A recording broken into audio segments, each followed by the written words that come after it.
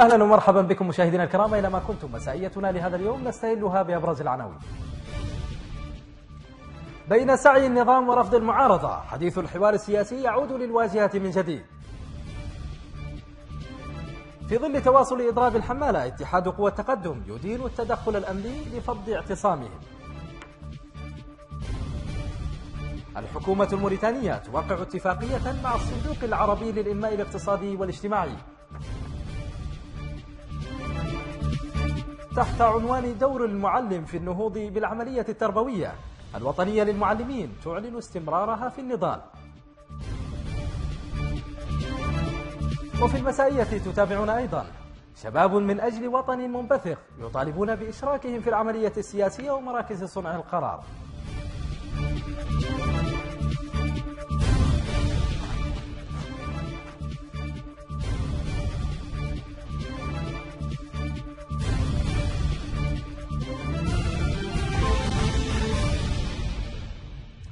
كشفت مصادر إعلامية نقلا عن مصادر رسمية قولها إن الحكومة الموريتانية تسعى جاهدة لإطلاق حوار سياسي يجمع أكبر عدد ممكن من الطيف السياسي الموريتاني خلال فترة لا تتعدى شهرين حسب المصادر. وأكدت المصادر ذاتها أن الرئيس محمد بن عبد العزيز ناقش الموضوع مع الشخصيات السياسية التي التقى خلال الأسابيع الأخيرة كما فوض بعض معاونيه الرسميين والسياسيين لإجراء لقاءات مع أطراف سياسية لتحديد شروطها بغية الدخول في حوار سياسي شامل. وفي السياق ذاته قالت مصادر داخل المنتدى الوطني للديمقراطية والوحدة المعارض في موريتانيا إن اللقاء الذي جمع رئيس حزب التحالف الشعبي التقدمي مسعود والبلخير برئيس حزب تكتل القوى الديمقراطية أحمد ولدادا وقيادات في المنتدى بن واكشوط لم يحمل أي جديد. وحسب المصادر فإن ولد بالخير أبلغ قادة المنتدى استعداد الرئيس الموريتاني محمد بن عبد العزيز لإطلاق حوار شامل خلال شهر إبريل الجاري أو شهر مايو المقبل دون أن يتحدث عن الضمانات التي طالب المنتدى بتوفيرها قبل الدخول في أي حوار مع النظام. واعتبر المنتدى أن اللقاء مع ولد بالخير ينضاف لمجموعة اللقاءات السابقة التي أعلن فيها ولد عبد العزيز أكثر من مرة استعداده للحوار دون أن يقدم أدلة تدل على جديد النظام في تجديد أو جدية النظام عفوا في تجديد تنظيم حوار شامل يخرج موريتانيا من الأزمة التي تتخبط فيها منذ عقود. وفي سياق آخر تظاهر صباح اليوم عدد من الحمال الموريتانيين العاملين في ميناء واكشوط مطالبين بتوفير وتحقيق مطالبهم.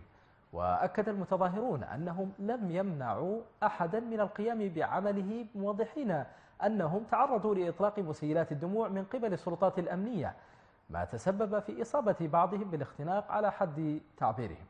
رانا شفنا نعرفوا عن الحكومة اللي عدلت لنا ما هو صالح. أولا لحقونا في كورنا ما أنا ماسين مويه ما أنا كابين مويه لرقاش ولا أنا ماسين أي إنسان وسوه منه. بالتالي حاسوا لنا قالوا عنا ناخذ من كورنا. قلنا أنا ما أنا واخذين هذا هنا كذاش من السنين وعدل لنا نحن وساكنين فيه. حاسوا لنا قاموا يخبطونا بقرينات في نقر كورنا. خبطونا الخبيط اللي مثلا في نقر في نقر الكور. ونعطبوا منا وحدين وداسوا منا وحدين. وهذا في نقر ساحتنا. وهذا نعتبره ظلما وعدوانا. بما أن نحن ما لنا حاكمين حد أن يطلع ولا أن سامينا رقاش اسوء منه. بالتالي لين ما تاج الحالة لا يخبطك انت حالا بقرينات وانت ماشي لا يخبطوك بقرينات ماشي ما جاي. سمعت. ولكن هذا ما اجبرنا قانون ولا اجبرنا شيء. دان حزب اتحاد قوى التقدم المعارضة التدخل الأمني لفض إضراب الحمالة بن واكشوط معتبرا أنه انحياز من السلطات لصالح أحد الشركاء الاجتماعيين على حساب الطرف الآخر. كما طلب الحزب في بيان له بحوار اجتماعي عاجل بين الشركاء لاحتواء الأزمة قبل تفاقمها مؤكدا أن الإضراب حق مشروع يكفله الدستور الموريتاني. ومعلنا في الوقت نفسه تضامنه مع العمال المضربين حتى ينالوا حقوقهم كاملة حسب تعبير البيان. في ظل الهجرة التي تشهدها الأحزاب السياسية الموريتانية نظم شباب حزب الاتحاد من أجل الجمهورية نقطة صحفية بمناسبة انضمام مجموعة من شباب مدينة بابابي إلى الحزب الحاكم. انضمام المجموعة حسب ما يقول أصحابها جاء نتيجة قناعة شخصية بمسار الحزب وخطه السياسي.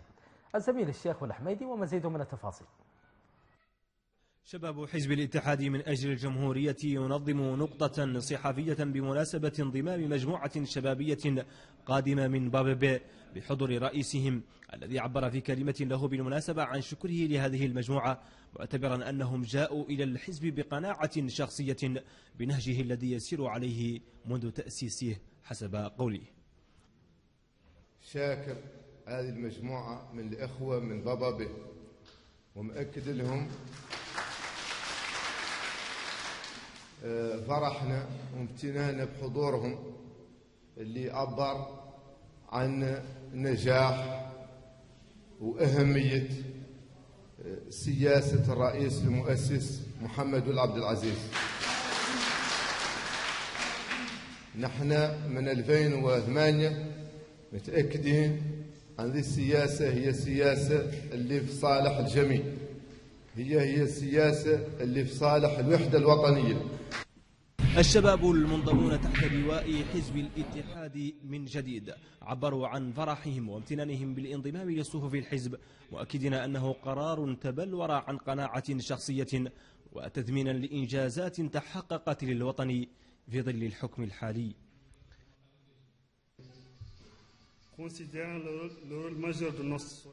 نحن الشباب المنضمون للاتحاد من الجمهورية هدفنا هو أن نواصل مع هذا الحزب في المزيد من الإنجازات لموريتانيا والتي نريد لها أن تكون دولة لنا جميعا. في ظل التجاذبات السياسية التي تعيشها الساحة الوطنية يبدأ إذا موسم الهجرة السياسية ليحظى الحزب الحاكم في موريتانيا بجزء منها وهو جمع من الشباب مقتنعين بطرحه ونهجه السياسي. الشيخ الحميدي الوطنية وقعت الحكومة الموريتانية مع الصندوق العربي للإنماء الاقتصادي والاجتماعي على اتفاقية تمويل إنشاء مزرعة للرياح بمنطقة بولنوار في الشمال الموريتاني بمبلغ قدره 37 مليار أوقية. وزير الاقتصاد والمالية الموريتانية المختار والجاي وقع الاتفاقية عن الجانب الموريتاني خلال مشاركة وفد حكومي موريتاني من قطاعات الاقتصاد والمالية والبنك المركزي الموريتاني. في الاجتماعات السنوية لمؤسسات التمويل العربية المنعقدة في مدينة المنامة بالمملكة البحرينية ومن المتوقع أن تمكن المزرعة من توليد 100 ميجاوات من الطاقة النظيفة والمنخفضة التكلفة. وفي سياق آخر وزع وزير الصيد والاقتصاد البحري الموريتاني الناني والدشروقة سفن صيد على 11 قبطانا شاطئيا في مدينة واديبو شمالي موريتانيا. وقال الوزير إن الدولة منذ 2012 تبنت مشروعا طموحا لصناعة زوارق شاطئية تتوفر على أعلى معايير السلامة والراحة. وإن تسليم الدفعة الثانية من نوعها يعزز طموح الحكومة في تحقيق المشروع. ويخلق مزيدا من فرص العمل كما يساهم في توفير التشغيل حسب تعبيره. تحت عنوان دور المعلم في النهوض بالعملية التربوية نظمت النقابة الوطنية للمعلمين صباح اليوم ندوة أعلن من خلالها المعلمون مضيهم في النضال حتى تتحقق جميع المطالب التي تضمنتها عريضتهم المطلبية التي وجهت للوزارة. الزميل يعقوب سيد عبد الله ومزيد من التفاصيل. من أجل النهوض بالمعلم ودوره في العملية التربوية انطلقت التي نظمتها النقابة الوطنية للمعلمين حيث أوضح المتحدثون أنهم ماضون في النضال حتى تتحقق كل المطالب التي يطالب بها المعلم كترقيته من الفئة با صوب الفئات الأخرى مذمين حضور زملائهم من كل أنحاء موريتانيا. في فئة با من الموظفين وهو وهم شباب يحملون شهادات عليا وهم مسؤولين. في هذه الفئة. فيجب أن نناضل حتى ننتقل من هذه الفئة إلى فئة أخرى. كذلك يجب أن نضع المعلم في وضعية مادية مريحة ومعنوية. كما أذكركم بأن النقابة الوطنية للمعلمين حسب نصوصها وأهدافها فهي لا تهتم فقط بالناحية المادية للمعلم وإنها تهتم بالناحية المادية والثقافية والاجتماعية. كما أنها تهتم أيضا وقدمت الكثير من الاقتراحات والدراسات من أجل إصلاح التعليم حتى يكون تعليمنا تعليم يسير العصر القرن العشرين الذي نحن فيه الآن. قبل أن نعلن افتتاحا على بركة فيما أكدت العضو في النقابة الوطنية للمعلمين أن أكبر عائق يواجه المعلم هو ضعف التكوين الذي لم يعد موجودا وكذلك توفير الحماية للمعلم باعتباره اللبنة الأولى للعملية التربوية أو المدرسة بصفة بصفة خاصة بأن المدرس أو المعلم بصفة خاصة تواجه جملة من التحديات والمعوقات في حياته العملية تتمثل في واحد المنهاج التربوي والبرامج الراكدة والمنتديات التي لم تفعل. اثنين الاكتظاظ وتدني المستويات. وانعدام أو توقف التكوين المستمر. هكذا عبرت النقابة الوطنية للمعلمين عن استمرارها في النضال حتى تتحقق كل المطالب التي يتطلع إليها المعلم. في زمن تراجع فيه عطاء المعلمين توازيا مع الاستهزاء الذي يواجهونه من طرف البعض وكأنهم لم يعوا قول الشاعر قم للمعلم وفيه التبجيل كاد المعلم أن يكون رسولا. يعقوب سيدة عبد الله الوطنية. قدم وزير الثقافة والصناعة التقليدية الناطق الرسمي باسم الحكومة محمد الأمين والشيخ صباح اليوم الأربعاء بمقر سفارة ألمانيا الاتحادية في نواكشوط. تعازي موريتانيا في وفاة وزير الخارجية الألماني الأسبق هانس ديتريش. وكتب الوزير في السجل المفتوح بالمناسبة في مقر سفارة ألمانيا الاتحادية بنواكشوط أن موريتانيا حكومة وشعبا تتقدم بأحر التعازي وأخلص المواساة للمستشارة والحكومة والشعب الألماني الصديق وإلى ذوي الفقيد في وفاة وزير الخارجية الألماني الأسبق جرى التوقيع بحضور السفير مدير أوروبا بوزارة الشؤون الخارجية والتعاون وعدد من العاملين بالسفارة. نظمت مبادرة شباب من أجل وطن منبثق مساء أمس ندوة حضرها العديد من الشباب الموريتاني طالبوا فيها بإشراك الشباب في العملية السياسية ومراكز صنع القرار منوهين بأهمية الحوار والتشاور في عملية البناء والتقدم. مزيد من التفاصيل في سياق تقرير الزميلة العالية مسعود. تحت عنوان شباب من أجل وطن منبثق اجتمعت كوكبة من الشباب الموريتاني من مختلف الأطياف والأجناس والتخصصات على مائدة الوطن وتوحيد الصف الشبابي من أجل إدماجه في العملية السياسية ومراكز صنع القرار. مؤكدين أن المبادرة الشبابية تأسست من أجل موريتانيا مزدهرة وديمقراطية حرة مشددين على ضرورة الحوار والتشاور في بناء الوطن. إن المبادرة من أجل وطن منبثق تستنهض الفكر الوطني لدى كافة القوى الحية من أجل الحفاظ على السلم والوحدة والوئام الوطنيين حيث أن أصحاب المبادرة من أجل وطن منبثق مقتنعون أنه لا بديل عن الحوار والتشاور لتعزيز ديمقراطيتنا وانبثاق بلدنا اجتماعيا واقتصاديا وتنميته تنمية لائقة مستديمة. الاجتماع الشبابي جاء في ظل الحراك الذي تشهده الساحة السياسية في موريتانيا والذي يجمع الجيل الشبابي حتى وإن اختلفت مشاربه وانتماءاته السياسية والاجتماعية ليبقى فتح الباب أمام الشباب من مختلف الأجناس والأطياف والتخصصات. هو الدافع الأول والأخير وراء المبادرة الشبابية حسب ما يقول أصحابها. هذه المبادرة العاملة ضمن الأغلبية الرئاسية مفتوحة أمام كافة الفاعلين السياسيين وتشكل إطارا دائما للتشاور والنقاش والتعبئة والتحسيس حول الرهانات السياسية والاقتصادية والاجتماعية والثقافية لوطننا من أجل خلق ظروف خلق ظروف ملائمة للانبثاق في جو التشاور والتفاهم. تظاهرة شبابية شهدت عروضا ورقصات شعبية ومثلت فيها الأصالة الموريتانية من خلال حضور سفينة الصحراء التي ظلت متمسكة بمكانتها في عصر السرعة والعولمة والتكنولوجيا واختتمت بحفل موسيقي على أنقام تيدينيت وألحانها الشجية الأصيلة. العالي مسعود الوطنية.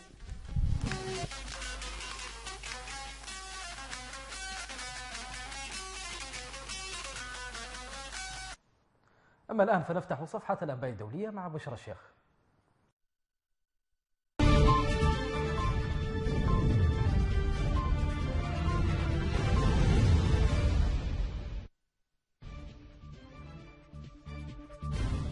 أكدت مصادر إعلامية فرار مئات العائدات من المعارك الدائرة بين القوات العراقية وعناصر تنظيم الدولة الإسلامية في قضائها التابع لمحافظة الأنبار.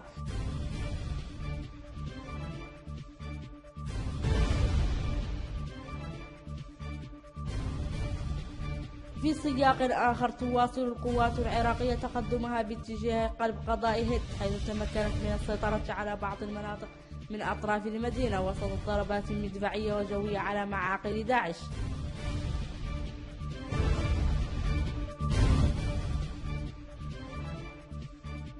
أكد مصدر عسكري سوري سقوط طائرة حربية في ريف حلب الجنوبي ونقلت الوكالة السورية للأنباء عن مصدر قوله إن الطائرة تعرضت لصاروخ أرض جو أثناء مهمة استطلاعية.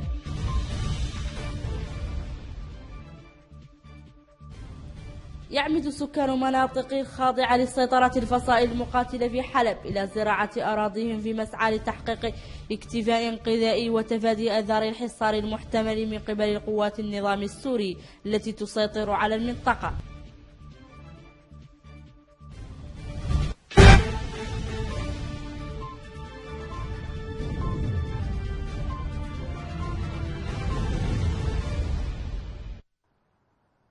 ننتقل بكم الآن إلى جديد الملاعب الرياضية صحبة الكابتن صلاح الدين سداح.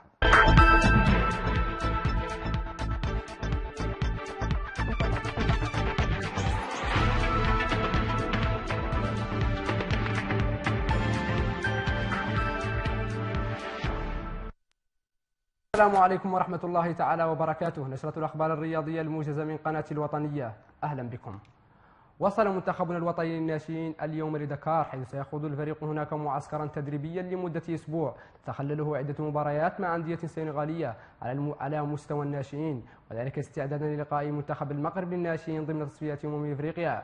في 24 من يونيو المقبل في نواكشوط. على أن تجري مباراة الإياب بالمغرب في الأول من يوليو. وأكدت مصادر خاصة بالجهاز الفني لمنتخب الناشئين أن القائمة التي تشارك في المعسكر تتجاوز 30 لاعبا. سيتم في النهاية اختيار 20 منهم لمباراة المغرب.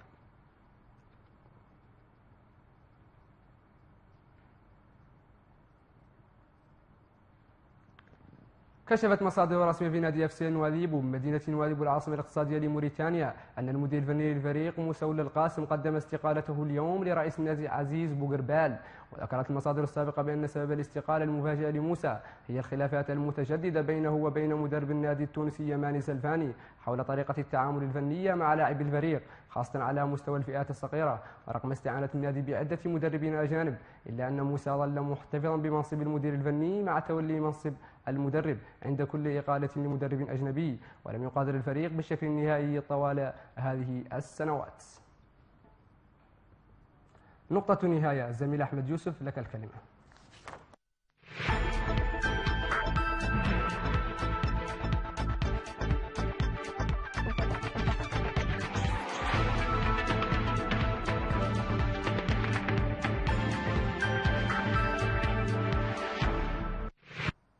مسائيتنا انتهت. عودا للتذكير بأبرز ما جاء فيها بين سعي النظام ورفض المعارضة. حديث الحوار السياسي يعود للواجهة من جديد. في ظل تواصل إضراب الحمالة اتحاد قوى التقدم يدون التدخل الأمني لفض اعتصامه الحكومة الموريتانية توقع اتفاقية مع الصندوق العربي للإنماء الاقتصادي والاجتماعي. تحت عنوان دور المعلم في النهوض بالعملية التربوية الوطنية للمعلمين تعلن استمرارها في النضال. وفي المسائية تتابعون أيضا. شباب من أجل وطن منبثق يطالبون بإشراكهم في العملية السياسية ومراكز صنع القرار.